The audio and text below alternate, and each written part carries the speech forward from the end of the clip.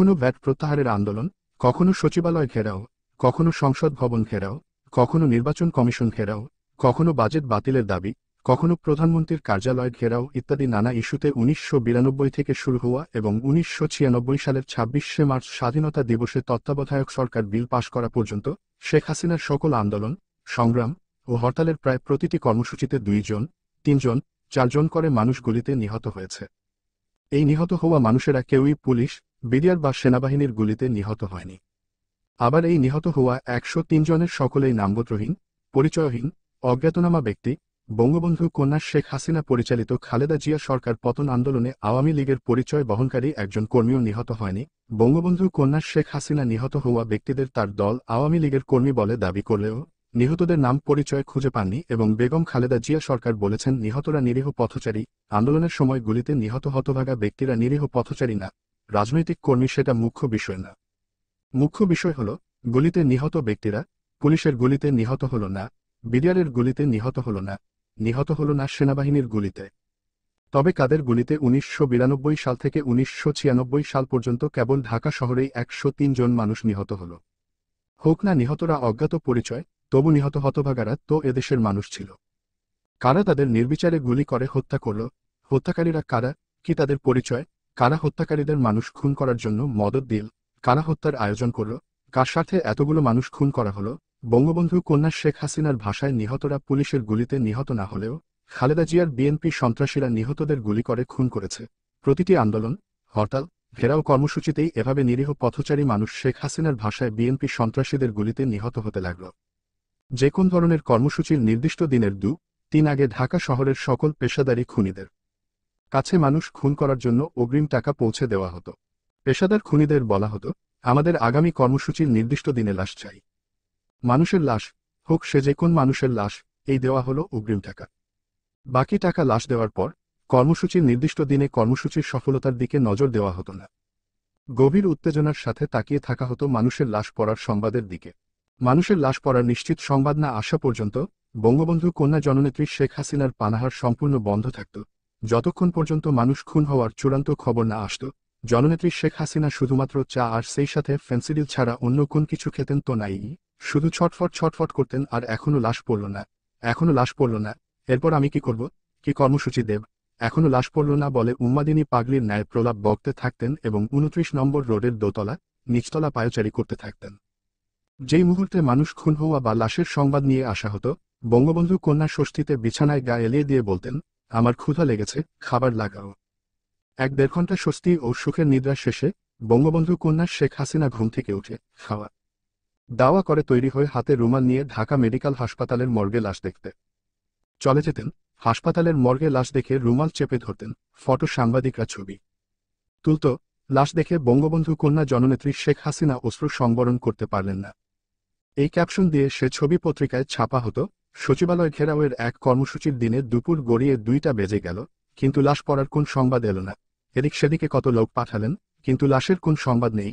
বঙ্গবন্ধু কন্যা তীব্র উত্তেজনায় প্রায় উন্মাদ হয়ে প্রলাপ বকতে লাগলেন। সকাল দশটায় সচিবালয় ঘেরাও করার কথা, এখন পর্যন্ত একটি লাশও পড়েনি, পুলিশ একটি টিয়ার গ্যাসও। ছড়েনি আওয়ামী লীগের কেন্দ্রীয় নেতা বর্তমানে বাণিজ্যমন্ত্রী তোফায়েল আহমেদ শুধু জাতীয় প্রেসক্লাবের উল্টো দিকে এনএসআই বিল্ডিংয়ের সামনে বিশাল করি গাছের নিচে দাঁড়িয়ে বাদাম খাচ্ছেন ও পুলিশ অফিসারদের সাথে গল্প করছেন। এদিকে বিজয়নগরে শেখ হাসিনা ও শেখ রেহানার চাইনিজ রেস্টুরেন্ট সুনগার্ডেনের সামনে বসে কনসুক খাচ্ছেন কেন্দ্রীয় নেত্রী বর্তমান খাদ্যমন্ত্রী মতিয়া চৌধুরী। উনত্রিশ নম্বর রোডের সরকারি বাসভবনে বিরোধী দলীয় নেত্রী শেখ হাসিনার কাছে সংবাদ এলো, লাশ ফেলার মতো ন্যূনতম কোন ক্ষেত্রও তৈরি হচ্ছে না, আর তাই লাশ ফেলা যাচ্ছে না। অর্থাৎ খুনিদের মানুষ খুন করতে যে গোলাযোগপূর্ণ পরিবেশ সৃষ্টি করতে হয়, তার নিম্নতম পরিবেশও সৃষ্টি হচ্ছে না। শেখ হাসিনা ও তার দল আওয়ামী লীগের আজকের সচিবালয় ঘেরাও কর্মসূচি ব্যর্থ হয়েছে। কোন রকম গোলযোগ হচ্ছে না। সব কিছু শান্ত ও স্বাভাবিক রয়েছে। ফলে খুনিরা মানুষ খুন করার সুযোগ পাচ্ছে না। এই কথা শুনে বঙ্গবন্ধু কন্যা শেখ হাসিনা বললেন, যাও, দ্রুত যাও। তোফায়েল ভাইয়ের কাছে যাও। মতিয়া চৌধুরীর কাছে যাও। যেয়ে আমার কথা বল, সামান্য একটা কিছু করতে বল। আজ যদি কিছু না হয়, তাহলে আগামী দিনে কর্মসূচি দেওয়ার কোন পুঁজি থাকবে না? যাও, তাড়াতাড়ি যে বল সামান্য গোলযোগ সৃষ্টি করতে। ছুটে যাওয়া হলো, যে তোফায়েল আহমদকে বলা হলো, তোফায়েল ভাই নেত্রী সামান্য গোলযোগ সৃষ্টি করতে বলেছেন। শুনেই ভয়ানক রেগে গিয়ে তোফায়েল আহমদ বললেন, যাও এখান থেকে, আমি ওইসবে বিশ্বাস করি না, আমি নিয়মতান্ত্রিক রাজনীতিতে বিশ্বাস করি, আমি ওইসবে বিশ্বাস করি না। আর একবারও তুমি আমাকে ওইসব বলবে না। তুমি যাও এখান থেকে। এই কথা বলে তোফায়েল তাকে আহমদ তাড়িয়ে দিল। এরপর আসা হলো মতিয়া চৌধুরীর কাছে। মতিয়া চৌধুরী সব শুনে প্রথমে চড়া গলায় বলল, আমি এগুলো পারব না। সঙ্গে সঙ্গে চুপ করেন বলে মতিয়া চৌধুরীকে একটা ধমক দিতেই মতিয়া চৌধুরী ভেজা বিড়ালের মতো চুপ মেরে যেয়ে বলল, দেখ আমি মহিলা মানুষ, আমি কি করতে পারি? তুমি বসো তুমি বসো, বলে চেয়ার থেকে উঠে দাঁড়িয়ে বললেন, সুপ খাও সুপ খাও। এদিকে সুপ দেন বলে সুঙ্গারডেনের বয়কে ইশারা করলেন। উনত্রিশ নং মিন্টু রোডে যে পরিস্থিতি বলা হলে, বঙ্গবন্ধু কন্যা জননেত্রী শেখ হাসিনা নগদ এক লক্ষ টাকা দিয়ে বললেন, আমি লাশ চাই, যে করেই হোক লাশ চাই। বেলা তখন তিনটা, কাপ্তান বাজারের উত্তর পাশে গুলিস্তান বাসস্ট্যান্ডের কাছে মানুষ খুনের জন্য। খুনিরা অপেক্ষা করতে লাগল, ঢাকার বাইরে থেকে একটা বাস এসে ভিড়ল, কত মায়ের? সন্তান, কত বোনের স্বামী, কত সন্তানের পিতা বাস থেকে নামতে শুরু করল, বাস থেকে। নামা নাম না জানা নিরীহ বিষ বিভাজন ত্রিশ জন যাত্রীর সামান্য ভিড় খুনিদের দেশে তৈরি পাইপ গান। গর্জে উঠল পাইপ গানের এক জাগ গুলি নাম না জানা নিরীহ যাত্রীদের বিদ্ধ করল। চোদ্দ বিভাজন পনেরো জন যাত্রী পিতলার রাজপথে লুটিয়ে পড়ল। উনত্রিশ মিন্টু রোডে শকুনের মতো অপেক্ষায় থাকা বঙ্গবন্ধু কন্যা জননেত্রী শেখ হাসিনাকে এই সংবাদ দেওয়ার সাথে সাথে তিনি পুলকিত হয়ে বললেন মরছে তো। মরছে তো? যেভাবে গুলি করা হয়েছে তাতে না মরে বাঁচার কথা না। যাও যাও মেডিকেল হাসপাতালের যাও। দেখ কয়টা লাশ পড়েছে। দেখে আমাকে খবর দাও, এই ক্ষুধা লেগেছে। খাবার দাও। হাসপাতাল থেকে ফিরে তিনটা লাশ পড়ার কথা বললে বঙ্গবন্ধু কন্যা শেখ হাসিনা তৈরি হয়ে হাতের রুমাল নিয়ে ঢাকা মেডিকেল হাসপাতালের মর্গে গিয়ে গুলিতে নিহতদের লাশ দেখে চোখে রুমাল দিলেন। ফটো সাংবাদিক ছবি তুললেন। পত্রিকায় সেই ছবি ছাপা হল। মহিলা আওয়ামী লীগের সভানেত্রী, কেন্দ্রীয় আওয়ামী লীগের মহিলা সম্পাদিকা, আওয়ামী লীগের সাধারণ সম্পাদক বর্তমান এলজিআরডি মন্ত্রী জিল্লুর রহমানের স্ত্রী আইভি রহমান উনিশশো বিরানব্বই সালে বঙ্গবন্ধু কন্যা শেখ হাসিনাকে জনৈক মহিলার নাম উল্লেখ করে বললেন, নেত্রী ওর নামে অনেক স্ক্যান্ডেল আছে। জননেত্রী শেখ হাসিনা সঙ্গে সঙ্গে বললেন, কি, বেশ্যা এই তো, কুত্তার, কুকুরের জাতকে তো। বেশ্যা দিয়েই নেতৃত্ব দেব, আওয়ামী লীগ সভানেত্রী শেখ হাসিনার মুখে এই কথা শোনার পর আইভি রহমান ছ হয়ে যান, আর একটি কোথাও না বাড়িয়ে বিদায় নেন। ধানমন্ডি বত্রিশে বঙ্গবন্ধু ভবনের লাইব্রেরি কক্ষে বসে শেখ হাসিনা শেখ হাফিজুর রহমান টোকেন, শেখ মারুফ এবং আরও কয়েকজন গল্প করছে। আওয়ামী লীগের আসন্ন কাউন্সিলে কাকে জেনারেল সেক্রেটারি করা যায় কথা উঠলে বঙ্গবন্ধু কন্যা শেখ হাসিনা বলেন, সাজেদা চৌধুরী মেয়ে মানুষ, তাকে জেনারেল সেক্রেটারি রাখা চলে না। তোমরা এমন একজন পুরুষের নাম বল, যে শুধু নামেই পুরুষ, কিন্তু কাজে কর্মে মেয়ে মানুষের চেয়েও লেবেনলিস পুরুষ চরিত্রের কোন পুরুষকে জেনারেল সেক্রেটারি বানানো যাবে না। পুরুষ চরিত্রের কোন পুরুষকে দলের সেক্রেটারি করলে, সে আব্দুল রাজ্জাকের মতো দল ভেঙ্গে ফেলবে একজন পুরুষকেই দলের সাধারণ সম্পাদক করতে হবে, যে নামে পুরুষ কাজে পুরুষ নয়, এমন একজন মেরুদণ্ডহীন পুরুষকেই দলের সাধারণ সম্পাদক করতে হবে। তোমরা খুঁজে এমন একজনকে বের কর, শেখ হাফিজুর রহমান টোকেন বলল, ফুফু জিল্লুর রহমানকে বানালে কেমন হয়? সঙ্গে সঙ্গে শেখ হাসিনা বললেন, ইয়েস, তুমি তো ঠিক বলেছ, উই তো সবচাইতে ফিটেস্ট। শেখ মারুফ বলল, না, বুবু, আপা, জিল্লুর রহমানকে বানানো যাবে না। জিল্লুর রহমান আর তার বউ আইভি রহমান পনেরোই আগস্টের পর খুনি ফারুক ডালিমদের দাওয়াতে করে বিরানি রান্না করে খাইয়েছিল। সুতরাং জিল্লুর রহমানকে তুমি জেনারেল সেক্রেটারি বানাতে পার না। বঙ্গবন্ধু কন্যা শেখ হাসিনা বললেন হ্যাঁ একেই আমার দরকার। সব দিক থেকে উপযুক্ত, জিল্লুর রহমানকেই দলের জেনারেল সেক্রেটারি করলে ভেড়া বানিয়ে রাখা যাবে। এই ভেড়া গলায় রশি না থাকলেও উঠানের বাইরে যাবে না। বঙ্গবন্ধু কন্যা শেখ হাসিনা ঠিকই কাউন্সিল করে জিল্লুর রহমানকে আওয়ামী লীগের সাধারণ সম্পাদক করলেন। বঙ্গবন্ধু কন্যা শেখ হাসিনা তার রাজনৈতিক জীবনে দুটি জিনিস ছাড়া অন্য কোন কিছুই চিনেননি। জিনিস দুটির একটি হল অর্থ মানে টাকা, পয়সা, আর অন্যটি হল লাশ মানে মানুষের লাশ। এই দুটি জিনিস ছাড়া আর দলের নেতা, কর্মী, শুভানুধ্যায়ী এবং অন্যান্য যারা তার বঙ্গবন্ধু কন্যা শেখ হাসিনার কাছে এসেছেন তাদের কাছে কোনোদিনই তিনি অন্য কোন কিছুই চাননি। এমনকি আঠাশে সেপ্টেম্বর তার জন্মদিনে যারা টাকা ছাড়া অন্য কোন কিছু উপহার নিয়ে আসতেন বঙ্গবন্ধু কন্যা শেখ হাসিনা ভর্ৎসনার সাথে তাদের বলতেন, এগুলো আমি নেই না। আমি ক্যাশ চাই, ক্যাশ, নগদ টাকা ছাড়া অন্য উপহার আমি গ্রহণ করি না। ছিয়ানব্বই সালের আঠাশে সেপ্টেম্বর গণভবনে বসেও তিনি একই কথা বলেছেন। অর্থের দাবি বঙ্গবন্ধু কন্যা শেখ হাসিনার প্রধান দাবি। আপনি যেই হন না কেন, যেখান থেকেই টাকা নিয়ে আসেন না কেন, জননেত্রী শেখ হাসিনার কথা হচ্ছে তাকে টাকা দিতে হবে। যদি টাকা না দেন তাহলে তার শেখ হাসিনার কাছে মানুষ হিসেবেই গণ্য হবেন না। বঙ্গবন্ধু কন্যা জননেত্রী শেখ হাসিনাকে ডান হাতের টাকা দেবেন, ডান হাতের টাকা বা হাতে নেওয়ার সঙ্গে সঙ্গে তিনি, শেখ হাসিনা আপনার কথা বেমালুম ভুলে যে টাকার জন্য নতুন মক্কেলের দিকে হাত বাড়িয়ে দেবেন, এমনভাবে তিনি টাকা নেবেন, যেন তার পিতার উত্তরাধিকার হিসেবে পিতার টাকাই আপনার কাছ থেকে নিচ্ছেন, টাকা চাই ই চাই, টাকা দিতেই হবে, চুরি করে টাকা এনেছেন, তাও দিতে হবে, কালো বাজারি বা পাচার করে টাকা এনেছেন, তাও দিতে হবে, মানুষ খুন করে টাকা এনেছেন, তাও দিতে হবে, ঘুষ খেয়ে টাকা এনেছেন, তাও দিতে হবে। ঘুষ খেতে ও ঘুষ দিতে শেখ হাসিনার জুরি মেলা ভার। টাকা না দিলে আপনাকে মুহূর্তের মধ্যে অপমান করে বের করে দিতে পারেন, আবার টাকা দিলেই আপনাকে সমাদর করে মর্যাদা দিয়ে চেয়ারে বসাতে পারেন। একদিন ধানমন্ডি বত্রিশে বঙ্গবন্ধু ভবনের লাইব্রেরি কক্ষে বসে আছেন শেখ হাসিনা এবং তার চাচাতো ভাই শেখ হেলাল। এমন সময়ে বজলুর রহমান, শেখ মুজিবের পিএ বর্তমানে প্রধানমন্ত্রী শেখ হাসিনার লিয়াজো অফিসার, জনৈক ব্যক্তিকে সঙ্গে করে নিয়ে এসে বলল, নেত্রী, ইনি একটা অনুষ্ঠান করতে চান। বজলুর রহমানের কথা শেষ না হতেই শেখ হাসিনা রেগে চেয়ার থেকে উঠে দাঁড়িয়ে উচ্চকণ্ঠে আগন্তুক লোকটিকে বললেন, এখানে কি ইতরামি করতে এসেছেন? বাদরামির আর জায়গা পান না, আপনাকে না বলে দিয়েছি, আমি যাব না। আবার এসেছেন বুঝি ফাতরামি করতে, আপনি কোথাকার কোন আলতু ফালতু লোক তার ঠিক নাই। আর আমি আলতু ফালতু লোকের আলতু ফালতু অনুষ্ঠানে যাব এটা ভাবলেন কি করে? আমি জাতির জনক, বঙ্গবন্ধুর কন্যা, আমার কি কোন দাম নেই? যান বেরিয়ে যান, এই লোককে বের করে দাও, এই লোক যেন আর ঢুকতে না পারে। ভদ্রলোক প্রথমে হকচকিয়ে গেলেও নিজেকে কোনোমতে সামনে নিয়ে ধীর পায়ে বেরিয়ে যাচ্ছেন। ভদ্রলোক দরজা পর্যন্ত যেতেই শেখ হেলালকে শেখ হাসিনা বললেন ইরচান্দা দেয় না, আবার চিটাগাংয়ের লোক। এই কথা শুনে ভদ্রলোক ঘুরে দাঁড়িয়ে এনেছি বলে তার প্যান্টের দু পকেট থেকে দু টি একশো, টাকার বান্ডিল বের করে এক লাফে শেখ হাসিনার টেবিলের সামনে এসে পড়লেন। বঙ্গবন্ধু কন্যা শেখ হাসিনা চিলের মতো ছো মেরে একশো, টাকার বান্ডিল দু টি নিজের হাতে নিয়ে ভদ্রলোককে বলতে লাগলেন, বসেন বসেন, এই উনাকে চা নাস্তা খাওয়াও, শেখ হেলাল আবার টাকার বান্ডিল দু নেওয়ার জন্য জননেত্রী শেখ হাসিনার সাথে ভদ্রলোকের সামনেই কারাকারি শুরু করল। বঙ্গবন্ধু কন্যা শেখ হাসিনা এর মধ্যেই ভদ্রলোককে বলতে লাগলেন, ঠিক আছে ঠিক আছে, আমি যাব, অনুষ্ঠানটা একটু ভালো করে করেন, আপনি আসবেন, ঘন ঘন আসবেন। উনিশশো বিরানব্বই সাল থেকে যমুনা সেতুর নির্মাতা প্রতিষ্ঠানের কোরিয়ান হুন্দাই কোম্পানি বঙ্গবন্ধু কন্যা শেখ হাসিনাকে নিয়মিত চাঁদা দিয়ে আসত। আর সেই জন্যই যমুনা সেতু উদ্বোধনের কয়েকদিন আগে উত্তরবঙ্গের জন্য নির্মিত গ্যাস লাইন সম্পূর্ণ ভেঙ্গে যমুনা নদীতে পড়ে গেল। সংশ্লিষ্ট কর্তৃপক্ষ গ্যাস লাইন নির্মাণে হুন্দাই কোম্পানির ত্রুটি, অনিয়ম, নিম্নমানের অভিযোগ আনলেও শেখ হাসিনার সরকার বেমালুম নীরব থাকে। বঙ্গবন্ধু কন্যা শেখ হাসিনা আওয়ামী লীগের কোন নেতা কর্মীকে কখনোই নীতির কথা শোনাননি, আদর্শের কথা শোনাননি, ত্যাগের কথা শোনাননি, যেই তার কাছে গিয়েছে তাকে তিনি কারণে অকারণে শুধু বলতেন, আমি নির্দেশ দিলাম মেরে লাশ ফেলে দাও, আমি লাশ চাই। আওয়ামী লীগের বর্তমান মন্ত্রীরা অনেকেই বলতেন, বঙ্গবন্ধু কন্যা সভানেত্রী শেখ হাসিনা তো টাকা আর লাশ ছাড়া কিছুই বোঝে না।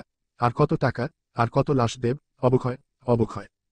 শিল্পপতি জহির হত্যার প্রধান খুনি আসামি ইউসিবিএল ব্যাংকের পরিচালক চেয়ারম্যান আক্তারুজ্জামান বাবু বলেন, আর কত টাকা দেব, দিতে দিতে তো নিঃশেষ হয়ে গেলাম। বঙ্গবন্ধু কন্যা আওয়ামী লীগ সভানেত্রী শেখ হাসিনা উনিশশো একাশি সালের সতেরো ইমে বাংলাদেশ আসার পর থেকে তার স্বামী ডক্টর ওয়াজেদ মিয়ার সাথে কখনোই একটি দিন বা একটি রাত স্বামী স্ত্রী হিসেবে কাটাননি। আগেই বলেছি, শেখ হাসিনা বাংলাদেশ আসার পর প্রথমে তার স্বামীর মহাখালী সরকারি কোয়ার্টারে ওঠেন, পরে ধানমন্ডি বত্রিশে তার পিত্রালয় বঙ্গবন্ধু ভবন, তারপর উনত্রিশ নম্বর মিন্টু রোড এবং তারও পরে ধানমন্ডি পাঁচ নম্বরের স্বামী ও নিজের বাড়িতে এবং এখন প্রধানমন্ত্রীর সরকারি বাসভবন গণভবনে থাকেন। কিন্তু তার স্বামী ডক্টর ওয়াজেদ প্রথম থেকে এখন পর্যন্ত তার ডক্টর ওয়াজেদের মহাখালীর আণবিক শক্তি কমিশনের কোয়ার্টারেই রয়েছেন, তিনি কখনোই ধানমন্ডি বত্রিশে, উনত্রিশ মিন্টু রোডে ধানমন্ডি পাঁচ এবং গণভবনে আসেননি এবং বঙ্গবন্ধু কন্যা শেখ হাসিনাও তাকে আনেননি। শুধু তাই ই নয়, বঙ্গবন্ধু কন্যা শেখ হাসিনা যখন তার স্বামীর মহাখালী কোয়ার্টারে থাকতেন, তখন ডক্টর ওয়াজেদ থাকতেন ওই কোয়ার্টারের ভিতরের রেস্ট হাউজে। উভয়ের সাথে রাতে দিনে দেখা সাক্ষাৎ তো দূরের, মুখোমুখিও হতেন না। মহাখালী স্বামীর কোয়ার্টারে থাকতে এবং পরবর্তীতে ধানমন্ডি বত্রিশের পিত্রালয় বঙ্গবন্ধু ভবনে থাকতে। উনিশশো সাতাশি সালে মুন্সীগঞ্জ হরবঙ্গা কলেজ ছাত্র সংসদের ভিপি মৃণাল কান্তি দাস নামের তরুণ যুবক আসার আগ পর্যন্ত বঙ্গবন্ধু কন্যা শেখ হাসিনা নিয়মিত রুটিন মাফিকভাবে প্রতিদিন সন্ধ্যার ঠিক এক ঘণ্টা আগে গোসল করে পাউডার, পারফিউম মেখে লম্বা চুলের একটা বেনি করে, চকচকে নতুন শাড়ি, ব্লাউজ পরে খুবই পরিপাটি হয়ে কাউকে সঙ্গে না নিয়ে শুধুমাত্র গাড়ির চালক, ড্রাইভার জালালকে সঙ্গে নিয়ে অজ্ঞাত স্থানে বেরিয়ে যেতেন এবং ঘণ্টা দু কয়েক পরে ফিরে আসতেন। শুধু এই সময়ে ওই অজ্ঞাত স্থানে যাওয়া ছাড়া বঙ্গবন্ধু কন্যা শেখ হাসিনা আর কখনোই একা শুধু জিপ, গাড়ি আর চালক নিয়ে বাইরে যেতেন না। ওই সময় এবং ওই অজ্ঞাত স্থান ছাড়া যেখানেই তিনি যেতেন তার সাথে সকলকে অবশ্যই সঙ্গে নিয়ে যেতেন। উনিশশো সাতাশি সালে মুন্সীগঞ্জ হরগঙ্গা কলেজ ছাত্র সংসদের ভিপি তরুণ যুবক মৃণাল কান্তি দাসের সাথে বঙ্গবন্ধু কন্যা শেখ হাসিনার পরিচয় হয় এবং পরিচয়ের পর থেকেই মৃণাল কান্তি দাস ধানমন্ডি বঙ্গবন্ধু ভবনে দিবারাত্রি সার্বক্ষণিকভাবে থাকতে শুরু করল। শেখ হাসিনা তখন ওই বাড়িতেই থাকেন শেখ হাসিনা ধীরে ধীরে নিয়মিত রুটিন মাফিক সন্ধ্যার আগে অজ্ঞাত স্থানে যাওয়া ছেড়ে দিলেন। অধিক রাত পর্যন্ত, এমনকি গভীর রাত পর্যন্ত ধানমন্ডি বত্রিশের বঙ্গবন্ধু ভবনের লাইব্রেরি কক্ষে ভেতর থেকে দরজা লাগিয়ে মৃণাল কান্তি দাস আর শেখ হাসিনা কুটকুট করে কথা বলতেন এবং খিলখিল করে হাসাহাসি করতেন। হ্যাংলা, পাতলা তরুণ মৃণাল কান্তি দাস অচিরেই ফুলে ফেপে এমন নাদুস নুদুস হল যে, মৃণালের পাসার নিতম্বের, আয়তন হল প্রায় সত্তর ইঞ্চি। বঙ্গবন্ধু কন্যা শেখ হাসিনার কাছে মৃণালের গ্রহণযোগ্যতা এতই বেড়ে গেল যে, তা সকলের কাছে ঈর্ষার ব্যাপার হয়ে দাঁড়াল। মৃণাল কান্তি দাস হল শেখ হাসিনার সবচেয়ে ঘনিষ্ঠ ব্যক্তি। বঙ্গবন্ধু কন্যা শেখ হাসিনার উপর মৃণাল কান্তি দাসের প্রভাব এতই বেশি হলে যে, আওয়ামী রাজনীতির সকলেই মৃণাল কান্তি দাসকে শেখ হাসিনা রাজ্যের সম্রাট বলে কুনিশ করতে কুণ্ঠিত হতো না। মৃণাল এতই ক্ষমতাবান হল যে উনিশশো নব্বই সালে আওয়ামী লীগের কেন্দ্রীয় কমিটির জেনারেল সেক্রেটারি বর্তমান পরিবেশ ও বনমন্ত্রী সৈয়দা সাজেদা চৌধুরীকে অপমান অপদস্থ করে বঙ্গবন্ধু ভবন থেকে বের করে দিল। আওয়ামী লীগের সাধারণ সম্পাদিকা সৈয়দা সাজেদা চৌধুরী আওয়ামী লীগের সভানেত্রী বঙ্গবন্ধু কন্যা শেখ হাসিনার কাছে এর বিচার ও প্রতিকার না পেয়ে দলের ওয়ার্কিং কমিটির সভায় পর্যন্ত এই ঘটনা তুলেছিলেন। এরপরে মৃণাল কান্তি দাস সর্বেসর্বা হয়ে পড়ল বঙ্গবন্ধু কন্যা শেখ হাসিনার পোষ্য আত্মীয় বর্তমানে প্রধানমন্ত্রীর A P S Bahauddin Nasim এবং বর্তমানে প্রধানমন্ত্রী শেখ হাসিনার চিফ সিকিউরিটি নজিব আহমেদেরা মৃণালের হুকুমে মৃণালকে সিগারেট এনে দিয়ে ধন্য হতো। বঙ্গবন্ধু ভবনে একদিন মুনালসহ চার পাঁচজন তাস খেলছে। বেলা তখন তিনটা সাড়ে তিনটা। এমন সময় বঙ্গবন্ধু কন্যা শেখ হাসিনার একমাত্র আপন মামা আকরাম মামু এসে কুভঙ্গিতে কুইঙ্গিত করে মৃণালকে বললেন, এই মৃণাল যাও না, তোমার জন্য না খেয়ে বসে আছে। মৃণাল বলল আরে থাক, থাকতে দেন কিছুক্ষণ না খেয়ে। মৃণাল খেতে যাচ্ছে না, তাই শেখ হাসিনা না খেয়ে মৃণালের প্রতীক্ষা করছেন। আকরাম মামা সেই কথায় মৃণাল কান্তি দাসকে বললেন, কিন্তু আকরাম মামার এই কথা বলার বাচনভঙ্গি খুবই খারাপ এবং খুবই আপত্তিকর। আর মৃণাল কান্তি দাস যাদের সাথে বসে তাস খেলছিল, তাদের কাছে আরও ক্ষমতা প্রদর্শনের জন্য আরও ডাট করে জবাব দিল, আরে থাক, থাকতে দেন কিছুক্ষণ না খেয়ে। অর্থাৎ বঙ্গবন্ধু কন্যা শেখ হাসিনাকে না খেয়ে তার মৃণালের জন্য আরও কিছুক্ষণ অপেক্ষা করতে দিন। মৃণাল কান্তি দাস হয়ে উঠল বঙ্গবন্ধু কন্যা শেখ হাসিনা রাজ্যের একক অধিপতি। মৃণালের কথা বার্তায়, চাল চলনে, আচার ব্যবহারে একক অধিপতির ছাপ পরিস্ফুটিত হতে লাগল। একদিন মৃণাল কান্তি দাস বঙ্গবন্ধু কন্যা শেখ হাসিনার উপর রাগ করে চলে গেল। বঙ্গবন্ধু কন্যা শেখ হাসিনা নিজে গিয়ে রাগ ভাঙিয়ে মৃণাল কান্তি দাসকে সঙ্গে করে বঙ্গবন্ধু ভবনে নিয়ে এলেন। এর কিছুদিন পর মৃণাল আবারও রাগ করে বঙ্গবন্ধু ভবন ত্যাগ করে চলে গেলে শেখ হাসিনা অনন্যপায় হয়ে মৃণালকে আবারও বঙ্গবন্ধু ভবনে ফিরিয়ে আনলেন। উনিশশো একানব্বই সালের নির্বাচনে হেরে গিয়ে ধানমন্ডি বত্রিশ নম্বরের বঙ্গবন্ধু ভবন ত্যাগ করে বিরোধী দলীয় নেত্রী হিসেবে বঙ্গবন্ধু কন্যা শেখ হাসিনা, মৃণাল কান্তি দাস ও তার তিন পোষ্য আত্মীয় নজিব, নাসিম ও নকিবকে সঙ্গে নিয়ে উনত্রিশ নম্বর মিন্টু রোডের সরকারি বাসায় উঠলেন। বঙ্গবন্ধু কন্যা শেখ হাসিনা তার তিন পোষ্য আত্মীয় নজিব এবং নাসিম ও নকিবকে সঙ্গে নিয়ে মিন্টু রোডের বাসায় ওঠায় মৃণাল কান্তি দাস, যার পর্নায় অসন্তুষ্ট হল। এই অসন্তুষ্টির এক পর্যায়ে মৃণাল কান্তি দাস বঙ্গবন্ধু কন্যা শেখ হাসিনার মিন্টু রোডের সরকারি বাসা ত্যাগ করে চলে গেল। মৃণাল চলে যাওয়ার পর শেখ হাসিনা তিন তিনবার নিজে স্বয়ং মৃণালকে ফিরিয়ে আনতে যান। কিন্তু মৃণাল কান্তি দাস ফিরে না এসে লোকের কাছে পরোক্ষভাবে বঙ্গবন্ধু কন্যা শেখ হাসিনার সাথে তার দৈহিক সম্পর্কের কথা প্রচার করতে থাকে। কথায় কথায় মৃণাল কান্তি দাস হাসতে হাসতে বলতে থাকে, শেখ হাসিনার শরীরে কোথায় কি আছে?